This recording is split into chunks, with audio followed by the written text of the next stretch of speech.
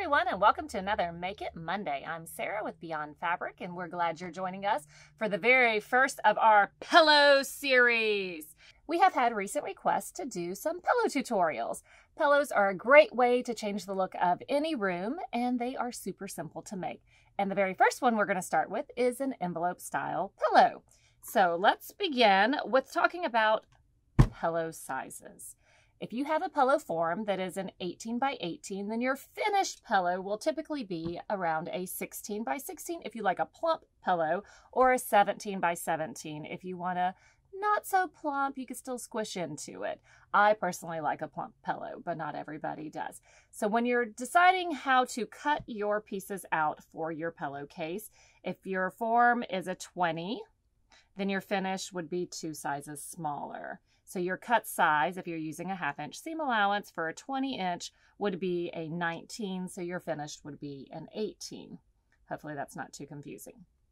So if you get down to smaller pillows, however, like a 16 and below on a pillow form, then you don't want to take away two inches. So if your 16 inch pillow form, your case is going to be more like a 15 inch. So for a 16 inch form, your case, when you go to cut it out, you're going to cut a 16 so that your finished would be a 15. But over a 16 inch, then it's typically two inches smaller. Um, again, so that your pillow form will fill up your case. So today we are using an 18 by 18 pillow form. So our finished is going to be close to a 16 by 16. So I have cut my one side of my pillow case um, a 17 by 17. So this will be the front of my pillow. Then we're going to have two pieces for our back since it is an envelope style where they overlap. So we have two pieces. This one is 17 inches long because they need to be the same height. And this one is 17 inches long because again, it needs to be the same height. Now to figure out what size to cut your two flaps so you have enough overflap so that it, your pillow form doesn't peek out, uh, there is a formula. Yay, math time! All right, so I have my calculator. Take whatever your cut size is for your front. So like we have a 17 by 17. Take the 17, divide it by 3, multiply that by 2, and then add your hem. So I like to do just a half inch, double half inch hem. So I would be adding an inch to that. If you like a bigger hem, um, say like a one inch, then you would be adding two inches to that.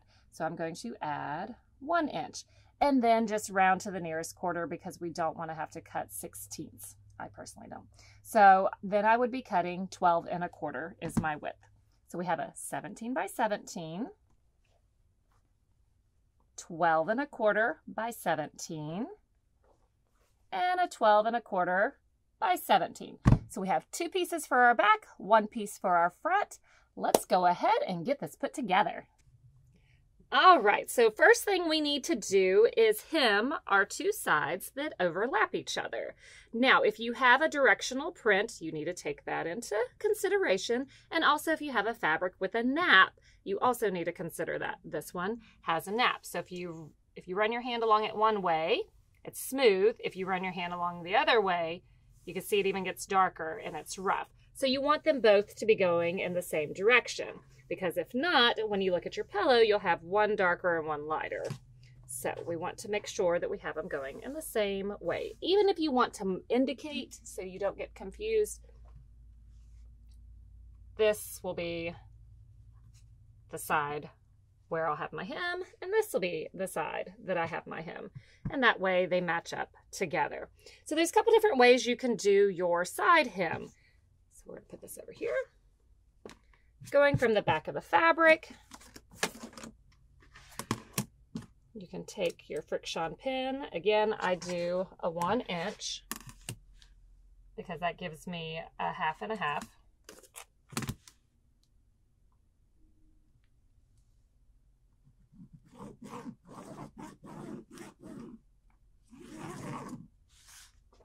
So that's where my fold is going to be. So I can go over to the iron, fold to that line, and then fold on that line and crease it with the iron. And then that way we have it ready when we go to sew. So we can do that method. And then you can also take your Hera marker, nice little tool. This will crease fabric. Um, it's really good if you're trying to mark fabric that you don't want to use chalk or pen, especially if you're worried about it coming out, especially with chalk.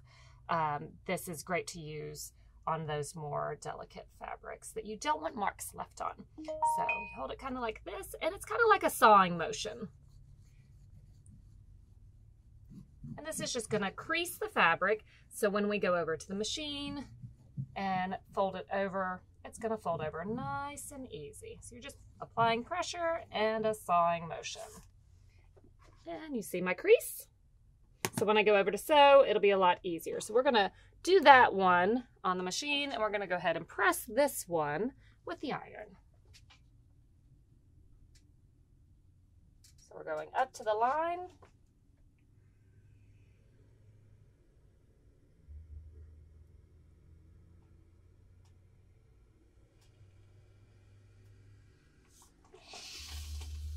And then we're pressing over.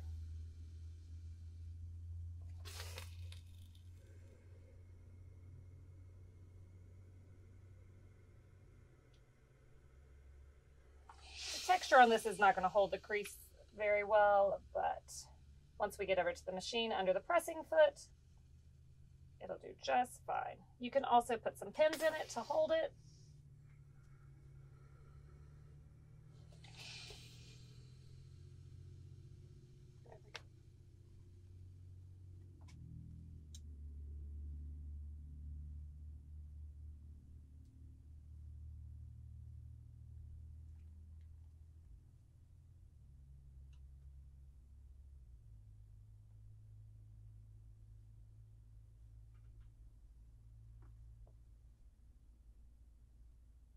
anybody that's ever been to one of our free demos in the store is probably going, oh my gosh, I can't believe she's pinning. Because normally I would do this by hand on the machine. And you can too. So if you don't like to pin, you can skip this step. Okay, so we have that one pinned down. We're going to go to the machine and just stitch right along the edge. And the same with this one that we have it creased. We're going to crease it one more underneath the machine and stitch along the edge. Now that we have our fabric over here underneath our foot, we have it lined up with the foot and I'm stitching right along the edge of it to create our hem. And this is going to be our side hem for our pillow. Now because I am using a home dec upholstery fabric, you do need a larger needle in there. Uh, I'm using a 16 Remember, the thicker the fabric, the larger the needle. I'm also using my walking foot, which pretty much stays on my machine.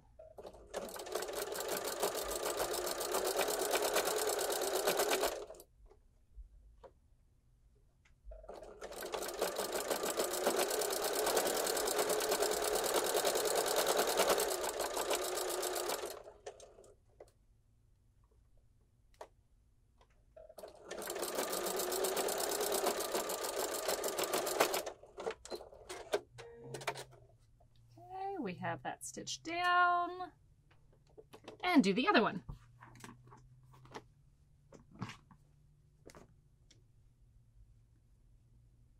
So again, this one has that crease that we made, so we are going to fold as we go. So let's get it started.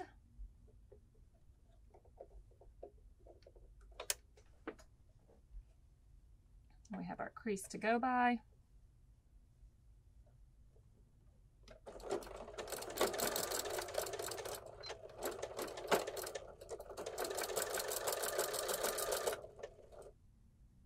Fold to the crease and fold over.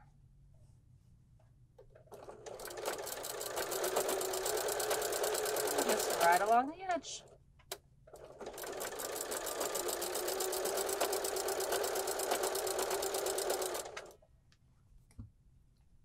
So to the crease and over.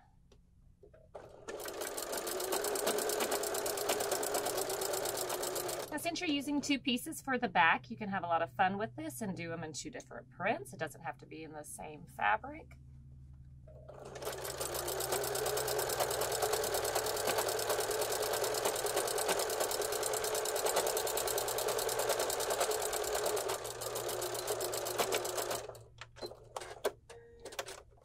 All right, now we have it sewn all the way down on both sides.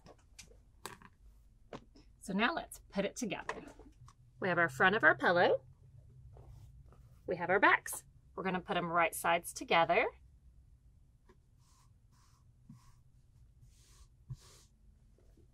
Where they overlap.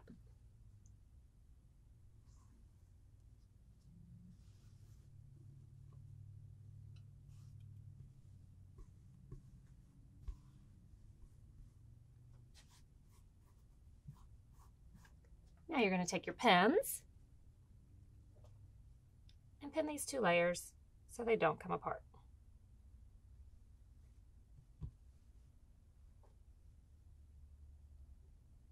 We also don't want them shifting when we go to sew it together.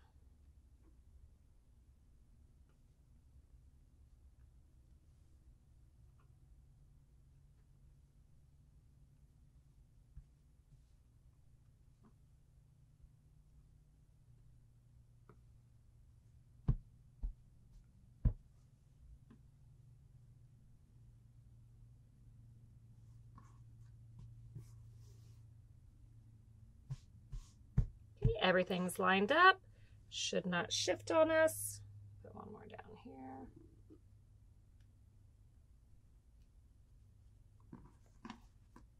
Now let's talk about dog ears. Have you ever had a pillow or seen a pillow where the corners stick up? I personally don't like that. We call that dog ears, and that's when the corners just go up like a little, like dog ears, literally dog ears. So there's a really nifty ruler from the Home Sewing Depot, and we do have them in the store, and we'll have a link below so you can um, go and check this out. And also on it, if you're confused about the measurements, it tells you about the pillow size um, for cutting it and what the finished is. So example, 20 inch pillow form, cut fabric 19 by 19, includes half inch seam allowances, finished pillow 18 by 18. So if you forgot all that mumble jumble that we were talking about in the very beginning, it's a nice little cheat sheet right there for you. All right, so this ruler has a straight edge here, and a straight edge here, and then tapered corner. We're not doing a curved corner. It will be still at an angle, but this is gonna help eliminate that bulk in those corners so you don't end up with a dog ear. So when you put your pillow in there, it's gonna look square still. Um, but if you don't taper it out, it's going to stick up with little triangles on the, the corners, and we don't, we don't like that. We don't. So we're gonna take our ruler, flat edge here, flat edge here, line it up.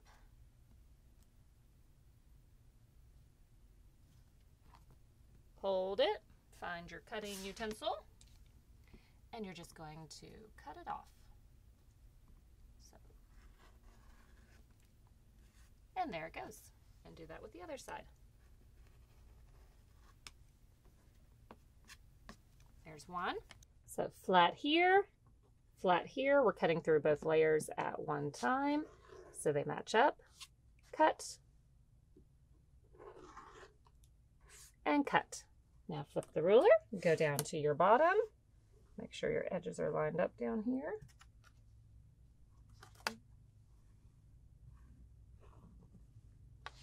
Pinned it, it moved it over. Okay, there we go. Line up.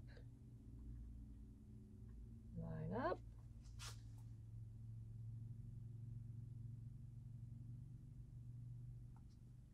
And cut off.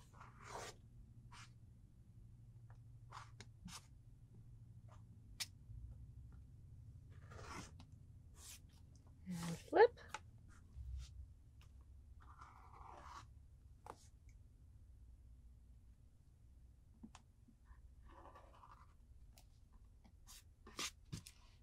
All right, now that we have all our corners tapered, we are going to put a couple more clips around the edge to keep our layers together.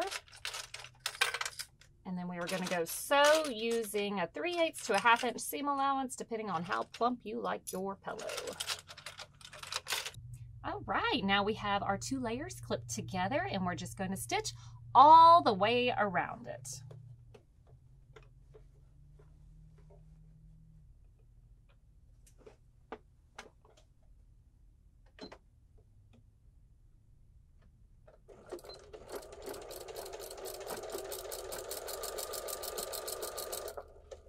Keep your two layers lined up.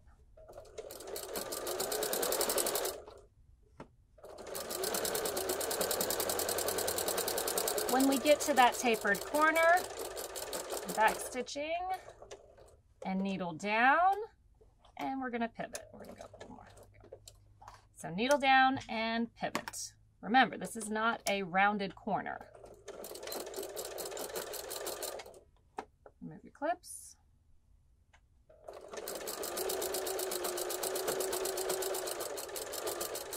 When we get to where the overflap has happened. Make sure everything's lined up, all three layers, and we are going to back stitch over that. Again, this is where we are going to be putting a pillow in and out, so there will be stress on this area, so make sure it is reinforced. Again, all layers lined up. Oh,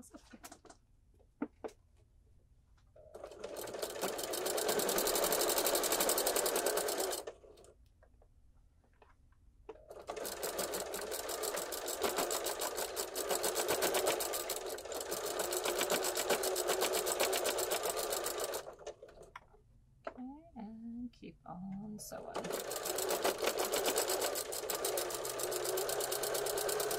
When we get to the other end, remember this is not a corner, needle down.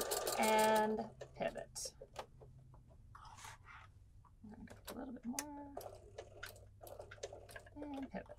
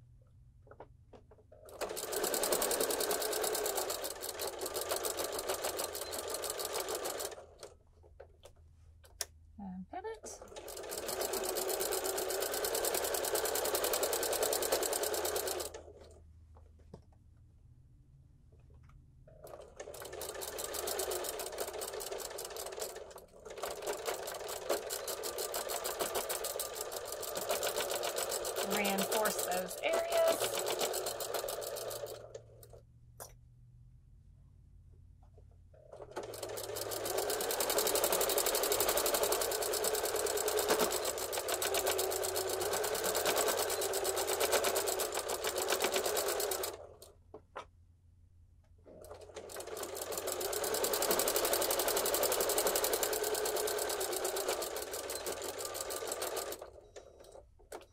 Down, pivot. Get those edges lined back up.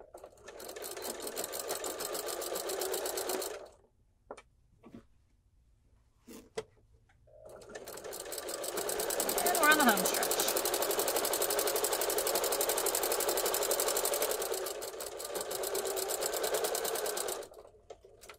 Okay, we have met up with our other side, so now we are going to take those corners where we have the, see where the corner is? We're gonna remove that bulk. So clip it away. Do that for both sides, well, all four sides.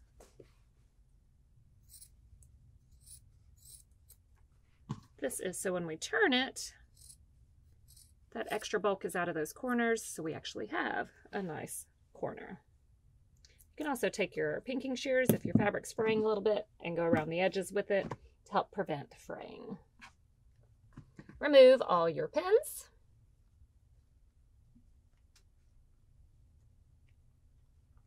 I got a little pin happy here. Look at that. Okay.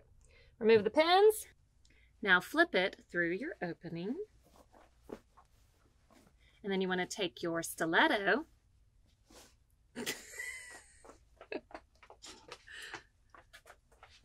Magic stiletto coming in here. And poke those corners.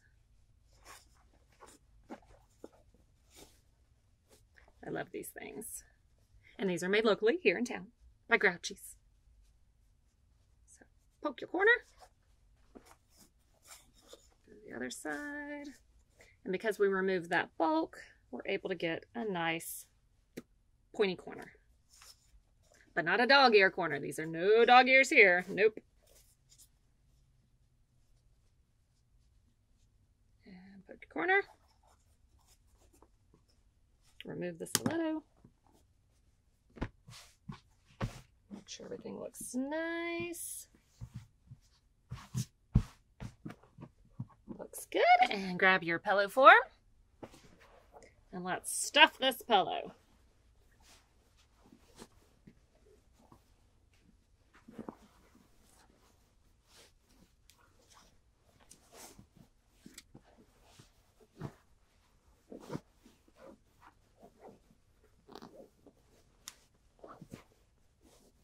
One corner there.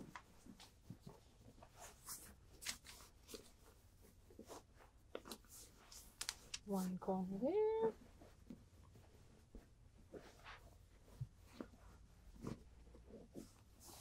Make sure my corners are filling up my corners. Corner here. Oh, I got a string.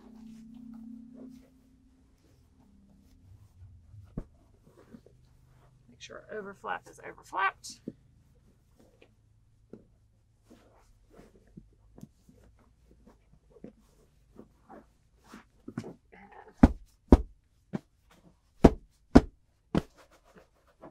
Nice. You can also, if you want to add decorative buttons on the back, you could always do that. You could do ribbon. Oh, still gotta get that corner in there.